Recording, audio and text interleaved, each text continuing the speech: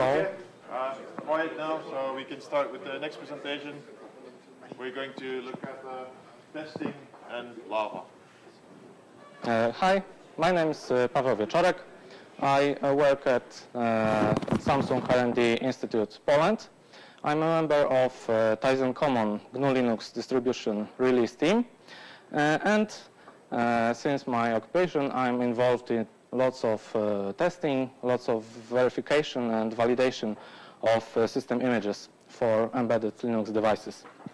Uh, today, I would like to be your guide uh, through setting up of your own uh, Lava laboratory, because that's something uh, we did to automate most of our work and to focus on much more interesting tasks that we have to uh, do our daily jobs. I will start with a short uh, introduction to what uh, Lava actually is. Then I will move to the main section, which is actual setup of the laboratory. I would like to share with you uh, some tools that we uh, used as well to simplify your work even further. Uh, next, I will give you some hints what can be done next. And uh, if uh, there's still time, we'll have uh, mm, short Q&A session and some uh, final thoughts. So what Lava actually is? Lava stands for Linaro Automated uh, Validation Architecture and uh, uh, serves uh, as an automation system for deploying operating uh, system on uh, not only mm, embedded Linux devices, but also uh, any kind of uh, emulator uh, or virtual device. Uh, it uh, can deploy uh, rootfs, uh, kernel, DTB, uh, anything that is needed to boot up your device.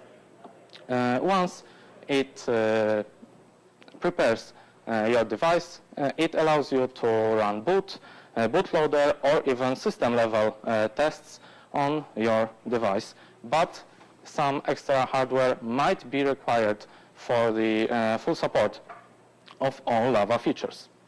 And when actually uh, does it come in handy? Uh, in the simplest use case, uh, with just a single board, uh, for example, Beagle Bo- Bone Black, which is a reference device for many uh, open source projects, it's easy uh, to, to manage just one on your desk. Uh, also, with just a single instance, you don't have to worry about uh, managing resources of your miniature board farms. But sooner or later, uh, you might uh, come across some new interesting target devices you would like to support uh, for your open source project. For example, ARTIK 10 uh, in top left corner or mm, uh, Odroid XU3 on the bottom. Uh, that's uh, when things might get complicated.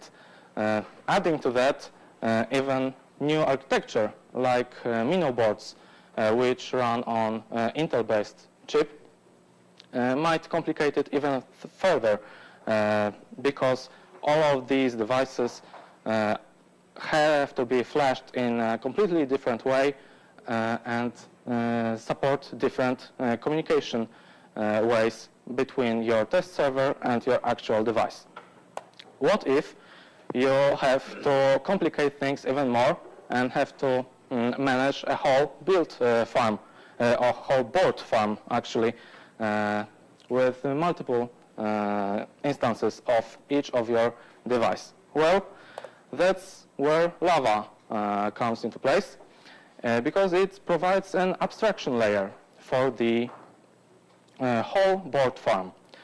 Uh, this way, all the uh, complex device management is put onto the Lava itself and is no longer your own task. Also, many different uh, devices have various capabilities. Uh, it would be uh, much easier if you don't have to worry about uh, finding an actual device that supports all the capabilities you need for tests. And uh, with Lava, uh, you can only uh, define what do you need And this way, if your board farm has uh, proper device, you'll get uh, what you requested. Also, uh, you don't have to worry about scheduling and dispatching multiple tasks uh, on uh, numerous devices. So if you would like to parallelize all of your tests and get your results uh, quicker, that's what uh, uh, Lava uh, can provide you. Uh, and the, mm, what you get out of the box is a unified device environment. So uh, each uh, developer uh, does not uh, see uh, board anymore.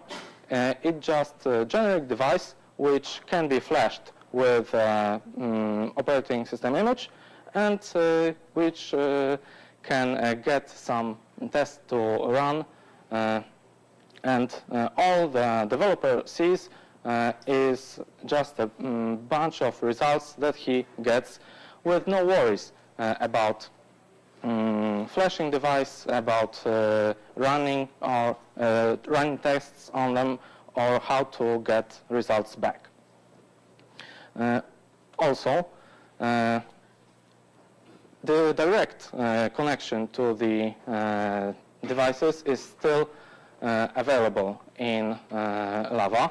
For example, via hacking sessions or uh, board overseer.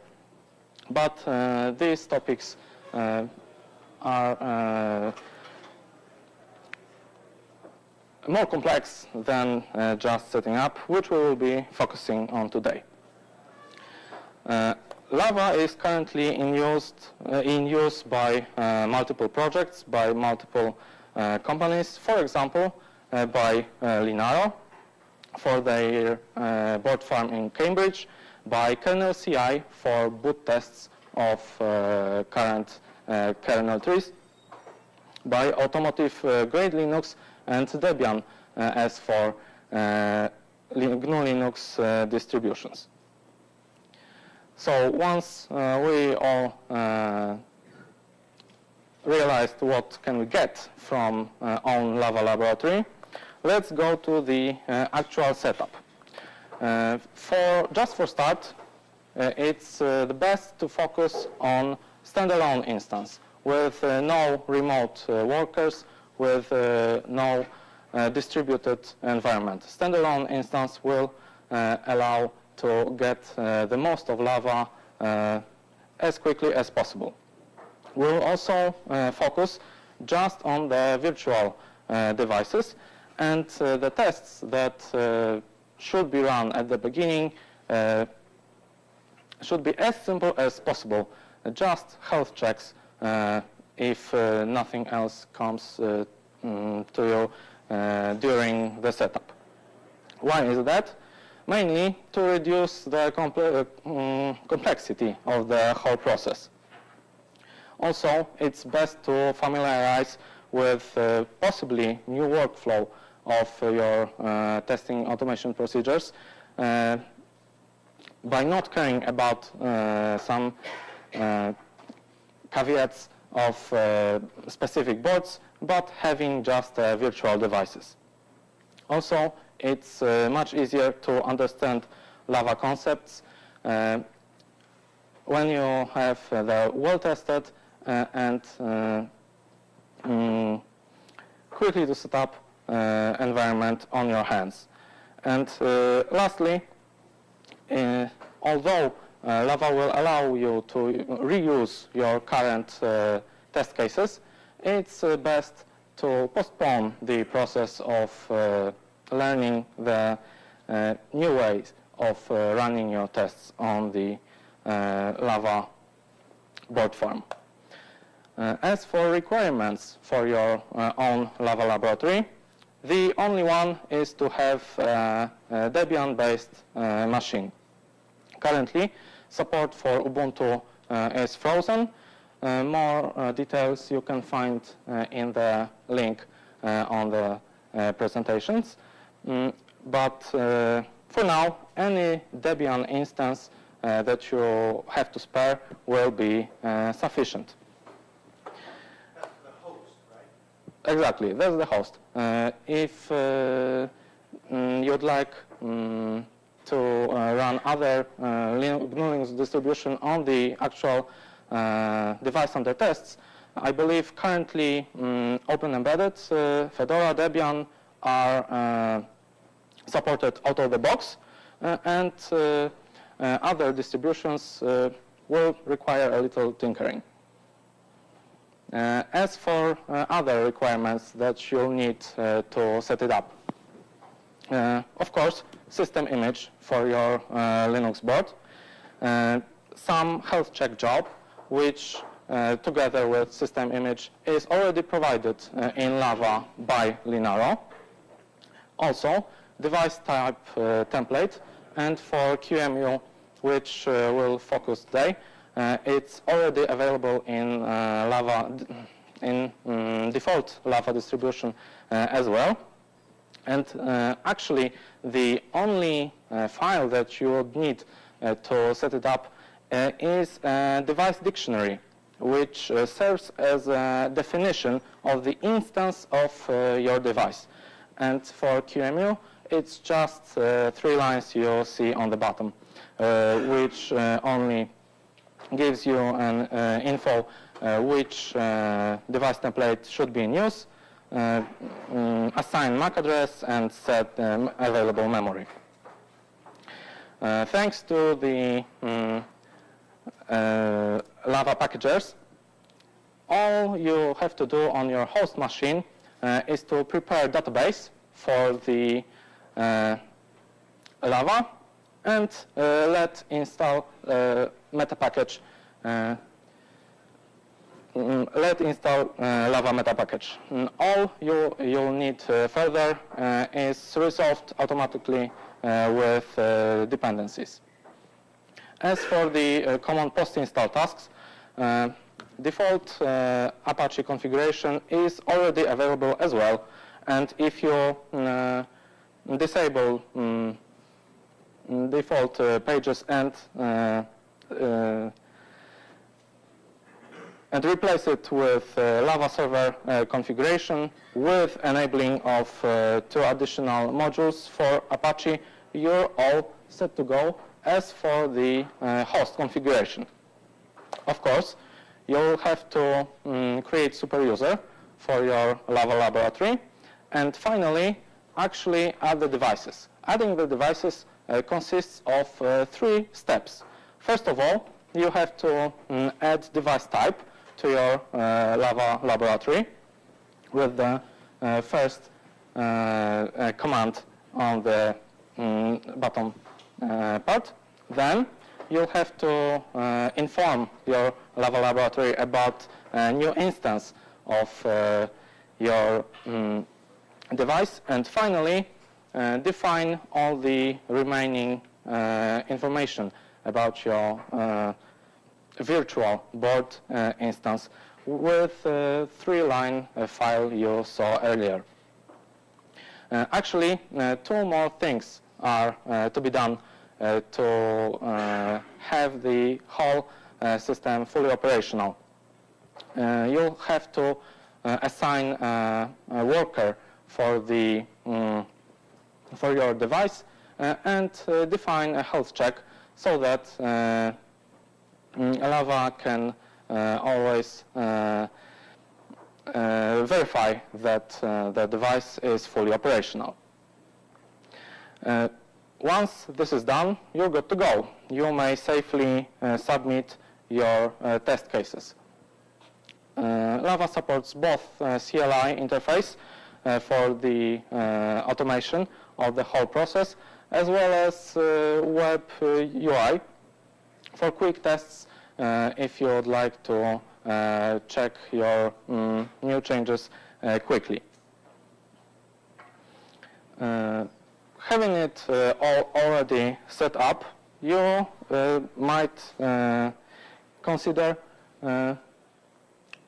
some mm, tools I would like to propose to you, which uh, may uh, make your future deployments uh, easier, quicker, and safer, uh, having it uh, all in a reproducible way. For start, I would like uh, uh, to share with you uh, the configuration management uh, suite.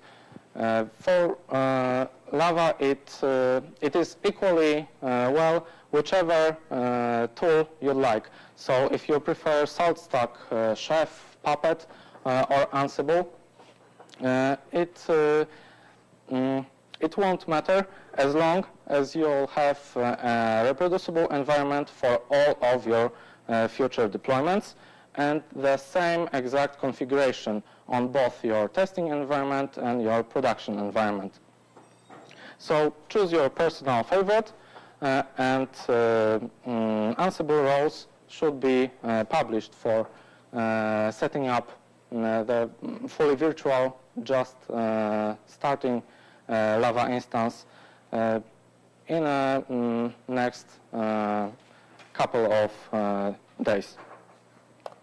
Uh, as for the uh, environment virtualization, which I believe uh, you will be interested in mm, having for your first Lava instance, you may choose from different virtualization providers. I would like to propose Uh, two, depending on uh, how much time do you have and uh, how much flexibility do you need from the provider itself.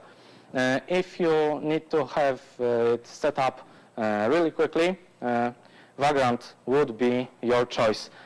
it allows you to bring up new instances instantly, and it provides you with a wide range of pre-built machines via Atlas service. But do be careful with uh, pre-built uh, images uh, since you have no control on what uh, actually is on the system image. Uh, if you would like to um, tinker more, to adjust it to uh, your needs, you might consider libvirt. Currently, maybe one of the most flexible uh, tools for uh, these kinds of uh, tasks, still equipped with really user-friendly both CLI and GUI tools. Uh, once you uh, have it uh, all set up, you might consider your next steps. And one of the possible um, follow-ups to setting up new Lava Laboratory uh, could be adding uh, completely new device types to Lava. This time, uh, actual devices, physical devices. And all the documentation for doing so is already uh, available. You might also be interested in uh, writing your own tests or migrating your current uh, test cases to Lava. Default Lava documentation have you, has you covered as well. But uh, if you'd be uh, more interested in contributing to some uh, other project, you might consider adding your Lava instance uh, to the uh, kernel CI project. Uh, you would, I believe, you would also benefit from familiarizing with Uh, both AGL test framework setup instructions uh, and uh, with documents that Civil Infrastructure Platform Testing Initiative prepared and uh, if you would uh, prefer uh, to um, watch and listen instead of reading, you might be interested in these three talks. a little more detailed introduction to Lava V2 by Bill Fletcher or having direct access to your devices within uh, Lava Laboratory instance um, by uh, free electrons. Uh, you also uh, could benefit from the next presentation that is right after this one by Jan Simon Möller. Of course, if you would need any help, any further help, the um, exhaustive uh, documentation is already available at uh, each instance of Lava Laboratory. Uh, and uh, if you would like some um, direct contact, uh, Lava users uh, their questions on mailing list, uh, either on mailing list or uh, on uh, Linaro dash Lava uh, IRC channel on Freenode. To sum it up, to sum it all up, mm, I hope that uh, I showed you that uh, mm, initial setup of uh, Lava Laboratory is pretty easy thanks to mm, already uh, in place package repositories for Debian platform. Uh, and that uh, setup is mm, instant once you know what to expect and what do you have to prepare before. Mm, also, uh, environment unification for various uh, device type, uh, types is something that you might benefit from in your uh, automated uh, testing process. And with Lava, you get uh, parallel test execution with no cost, and you don't have to manage all of the devices by yourself.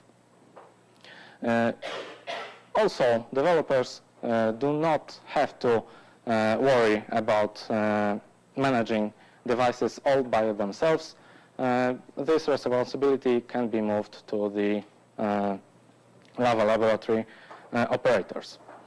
And as for the mm, final thoughts I would like to share with you is that although uh, it might seem intimidating at first with uh, such an exhaustive uh, documentation as Lava has, it actually uh, has no downsides. When you get through it, or uh, you mm, have someone who got through it earlier and shares uh, just a quick start, you get uh, everything you need.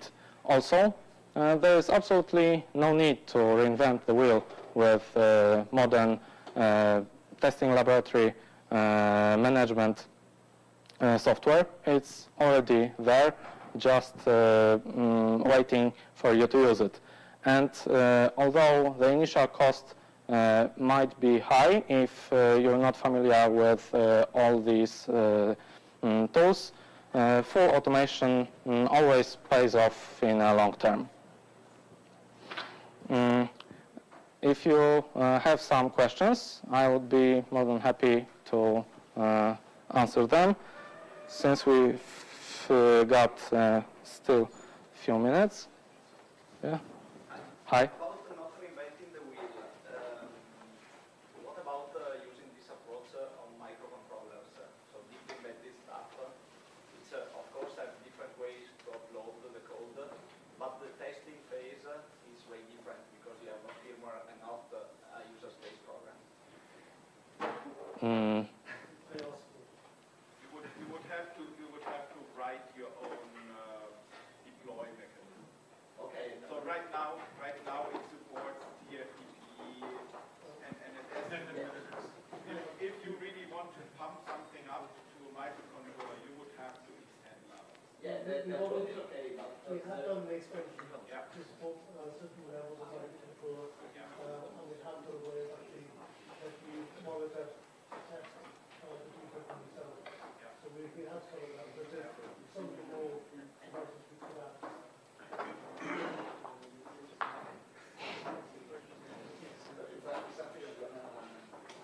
It's very much in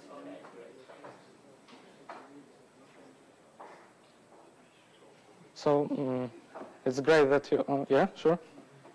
I was just going to say, apologies, we don't think the documentation is good enough. We're still working on it. So uh, good job. Release early, release often. So it's still undergoing active development. Please, definitely, thank you for a great presentation, giving a good introduction. Um, it's better than we've done so far. Uh, There's another se- uh, s- set of sessions uh, planned uh, next month. We're doing the next Linaro Connect event in Budapest, and we'll be doing a lot of users forum, and there'll be several more sessions. It's all going to be videos, and so if you're interested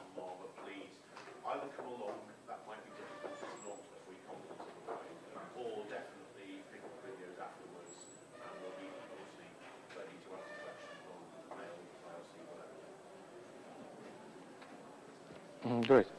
Suppose that you have uh, two boards that belong together, like a mother motherboard and a child board.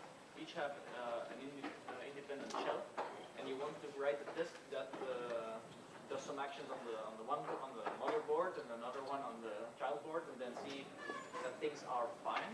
Is that possible in uh, with Lava? Mm, I believe so, but uh, I am not uh, experienced user enough to uh, answer your question fully. I believe that uh, you would have to add uh, two different devices, and uh, if the mm, child one has direct access, that there would be mm, no trouble in that. And if it has not, so mm, maybe some tunnel- tunneling through the parent device would be required as well.